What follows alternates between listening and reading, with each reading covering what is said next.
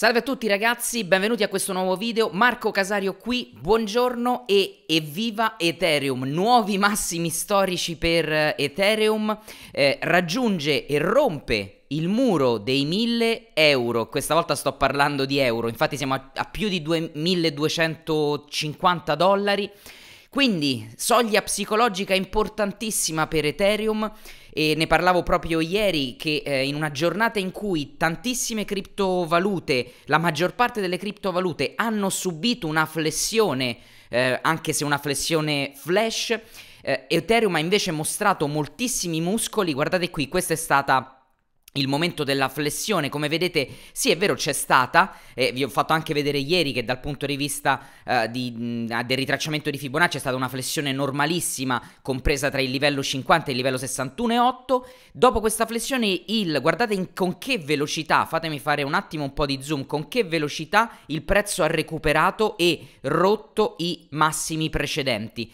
Quindi guardate qui, sono candele tutte quante eh, verdi queste. E un'altra cosa, Ethereum ha superato, um, di nuovo ha superato, ops, ha superato eh, Ripple per capitalizzazione di mercato, è al secondo posto, come potete vedere qua, 150 miliardi di dollari.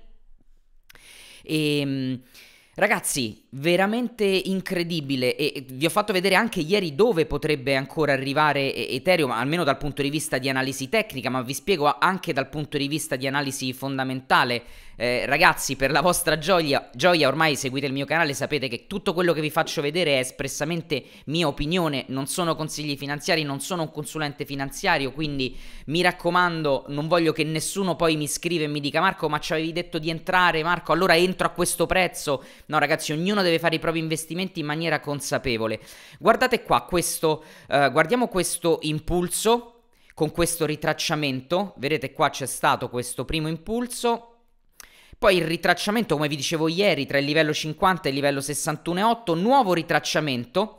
E adesso che cosa potrei aspettarmi? Voglio non considerare questo grande spike, voglio andare a vedere due cose, anzi voglio andare a vedere dove è arrivato dal punto di vista dell'estensione di Fibonacci questo, uh, questo nuovo impulso rialzista. Eccolo qui, guardate che bello è proprio adesso, si trova proprio in questo momento che vi dico sempre, la soglia di attenzione per l'inversione di Fibonacci per misurare il, um, il, il prossimo impulso rialzista è tra il livello 127,2 e 161,8 e stiamo proprio qui, questo non vuol dire che il prezzo adesso si fermerà qui e farà una flessione, ma statisticamente i mercati che si muovono in maniera armonica tendono a far questo, eh, quindi è solo un discorso di probabilità e di statistica, e quindi quello che potrebbe fare adesso il, uh, il nostro prossimo movimento di mercato, se dovesse ritracciare un pochino, potrebbe eh, rimettersi all'interno di, questa, um, di, questa, di questi livelli di prezzo qua, che guardate che bello ragazzi, coincidono anche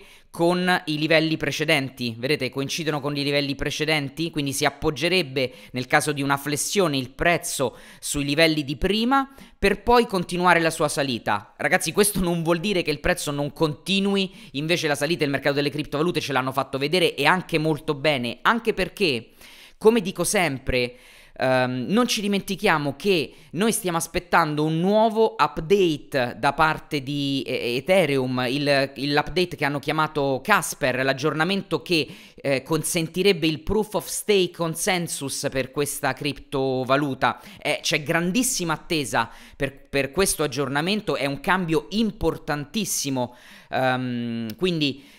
Uh, che cosa vuol dire questo? Vuol dire che fondamentalmente non vuol dire che verrà abbandonato il proof of work, ragazzi, non vuol dire che non verrà più minato Ethereum, ma il proof of work verrà utilizzato esclusivamente come punto di controllo ogni 100 blocchi. Quindi eh, per garantire le transazioni ehm, che non potranno eh, le transazioni non potranno più eh, praticamente essere, diciamo così, uscire una, eh, più di una volta. È, un, è, davvero importante come, come, update. E poi c'è anche Plasma, un altro update di Ethereum. Insomma, ragazzi, ci troviamo in un momento importante, in un momento in cui Ethereum sta mostrando muscoli, siamo alle porte di questo update importante di Casper eh, che sta aspettando l'intera comunità blockchain, non solo la comunità di Ethereum, per vedere che cosa succederà. Questo potrebbe dare un impatto positivo, se qualcosa va storto viceversa potrebbe dare un impatto negativo al valore, al prezzo di eh, Ethereum.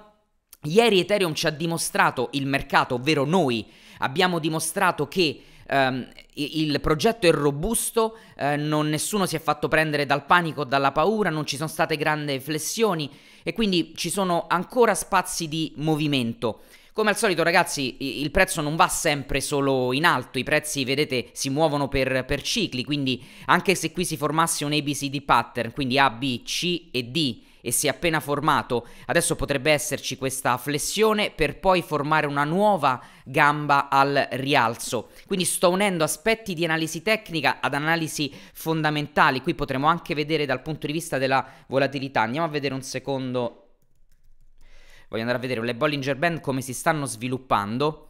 Guardate qua che bello, fatemi togliere questo. Guardate che rottura c'è stata sulle Bollinger Band proprio attuali. Vedete qua il prezzo ha compresso. Infatti si sono strette le due bande di Bollinger, che è il segnale di quando sta comprimendo e ci si aspetta poi un'esplosione verso l'alto o verso il basso. L'esplosione c'è stata qui. Guardate qui come Fatemi solo togliere questi livelli di Fibonacci così lo vedete meglio. Guardate qui come si cominciano ad allargare e poi qua esplodono. Guardate come si allargano. Questa è la volatilità media praticamente sul mercato. E poi ancora il prezzo si appoggia sulla mediana. Questa è una moving, diciamo è una moving average modificata e il prezzo boom esplode e si mette sul, um, sulla banda superiore. Ragazzi, incredibile quello che sta facendo Ethereum.